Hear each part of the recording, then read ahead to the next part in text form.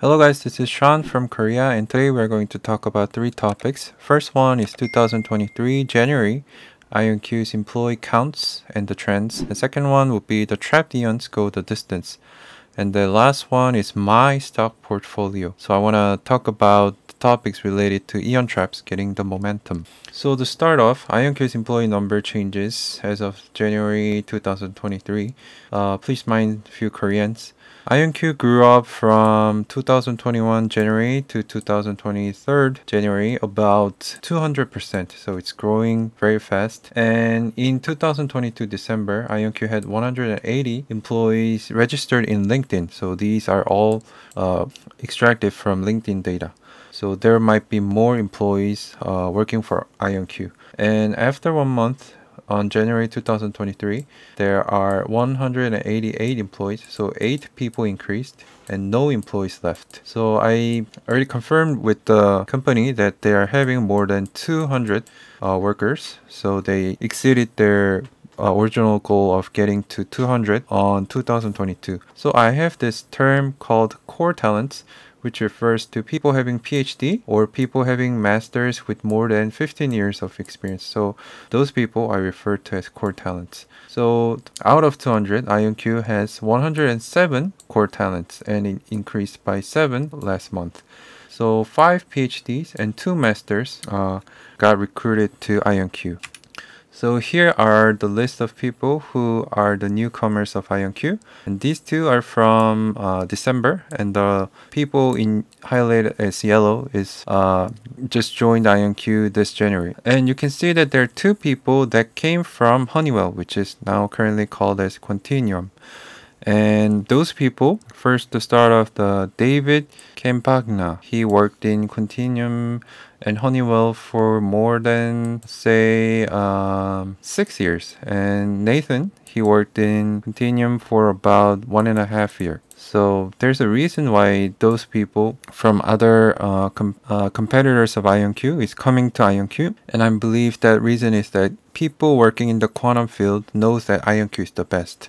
And I see that because IonQ's people do not quit or go to other uh, companies that are in competition with IonQ. So I think that's one of the good uh, trends that we want to see. And we also see many people who got hired working for IonQ as staff technical program manager, R&D physicist, senior engineer, quantum robotics engineer, staff optical engineer, senior optical engineer and senior manager of FPGA design. So we know that IonQ is expanding its business and no one is quitting, which is a good sign for the uh, investors. And the second news is trapped ions go the distance is related to uh, experiment that was done on the trapped ions. So this news was published on February 2nd and researchers have achieved long distance, which is more than 200 meters away, entanglement between two calcium ions, which of which lies in a different building. So it shows that trapped ions could be used to create quantum networks, which means bigger scale of quantum computing. This is very promising and very important because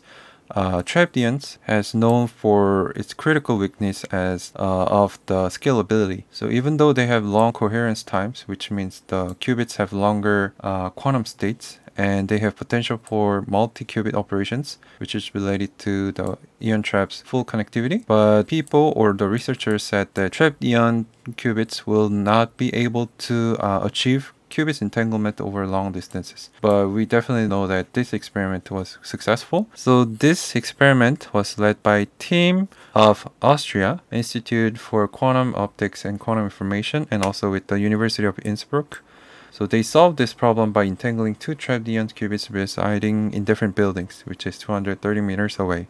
So they transmitted the photon from one ion through 210 meters of optical fiber to other ion to transfer or do the operations uh, together. So it's a very significant experiment related to trapped ions. And in, in case you don't know, IonQ performed a similar experiment about 12 years ago. So here in the IonQ's history map, we see that in the year of 2011, Kim and Monroe invented photonically networked modular quantum computer, which was experimented with Duke and UMD. And I looked over this experiment and IonQ already demonstrated a similar experiment on 2011 by these two professors, which are uh, co-founders of IonQ. So they had a paper called Modular Universal Scalable Ion Trap Quantum Computer.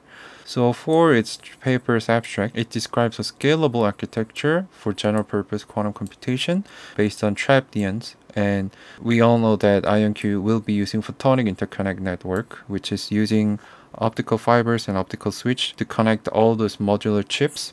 So they uh, consisted of a unit called ELUs, which is elementary logical units, which containing few physical qubits, and these were provided with optical communication port, and the quantum entanglement is distributed between an arbitrary pair of ELUs through a reconfigurable photonic network.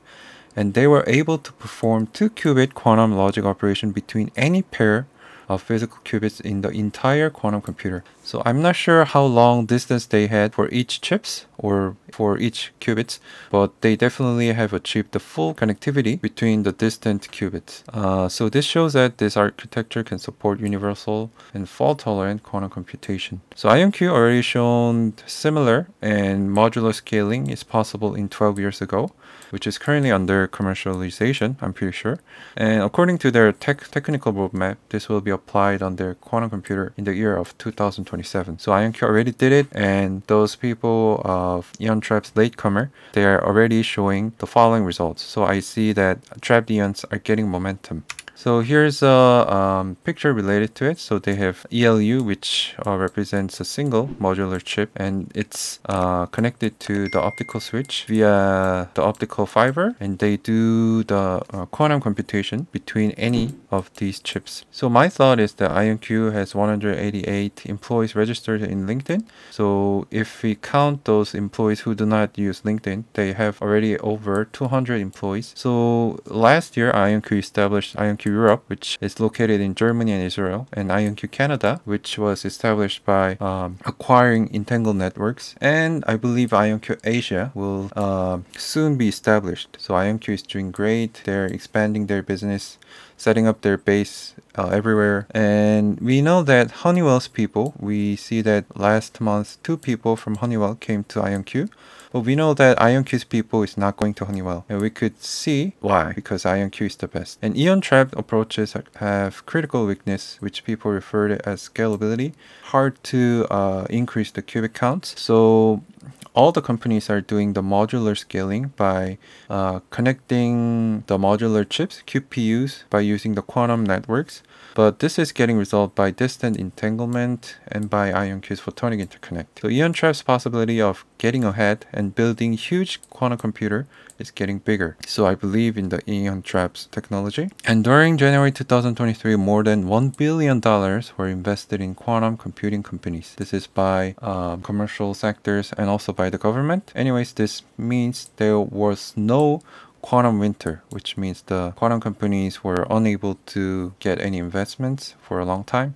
So more money flows into quantum computing industry, and as you all know, ChatGPT uh, got a lot of attention. So AI is getting attention, which means quantum computing will get attention as well because the quantum computing will explosively uh, develop the AI by doing the quantum uh, machine learning. So I expect IonQ to reach its peak stock price, which was about $36, approximately in the late 2025 when QC facility is operating, with QC system sales occurring and with the error correction applied. So in this time, the real quantum era or and the quantum supremacy will be demonstrated. So we must know the IonQ's technical roadmap, right? So in 2025, IonQ is aiming for 64 AQ, and in the blue comment, we could see that the error correction is applied.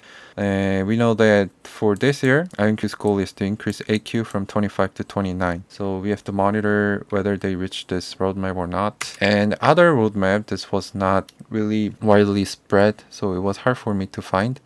So their phase one was to reduce the error within one chip and increase the qubit count within one chip, and then error correction, which allows one chip to have more qubits and have a perfect uh, qubit inside that will be applied on 2025.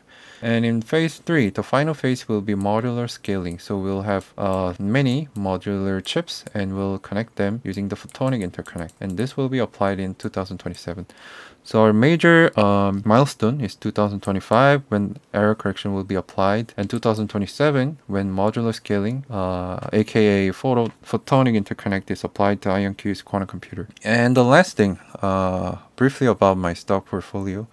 So I've invested actually over 200k, but um, I'm having about minus 40% in my assets. So I'm only having 127k currently. So I have IonQ as 82% of my whole stock for portfolio and then I have Tesla, Nvidia, Google, QQQ and ON Semiconductor. So for IonQ I have 19,728 stocks which uh, I basically have it around nine dollars. I have sold it and rebought it, so my uh, current price is low, but my actual price is like around nine dollars. And I also have Tesla, uh, which is showing minus 21%, and Nvidia, which is close to uh, the price that I bought, and for Google, minus 15%, QQQ, minus 1%, and on semiconductor, I'm currently very interested in this company because it's developing silicon carbide and has a, a, customer of Tesla and Apple. So I expect this company to grow very fast in the future. And this one I bought like three or four months ago, and I'm profiting about 55%. So this is quite amazing. But I only bought like uh, $2,000. So I hope I bought it more in the previous times. But anyways, my whole portfolio is uh, showing about minus 40%, uh, and I expect it to get better in the future. So today we talked about three topics. So I IonQ's employee counts of 2023 January, and I do monthly monitoring about this. So please keep an eye on this and uh, trap ions go the distance. So the distance entanglement performed by teams in Austria. And lastly, my stock portfolio. Hopefully, uh, I'll get richer as the time goes by. So ion traps getting the momentum, and I believe IonQ is doing great. So thank you everybody for listening to my video. Please leave a like, subscribe, and your comments. Thank you very much, and I'll see you guys in the next video. Thank you.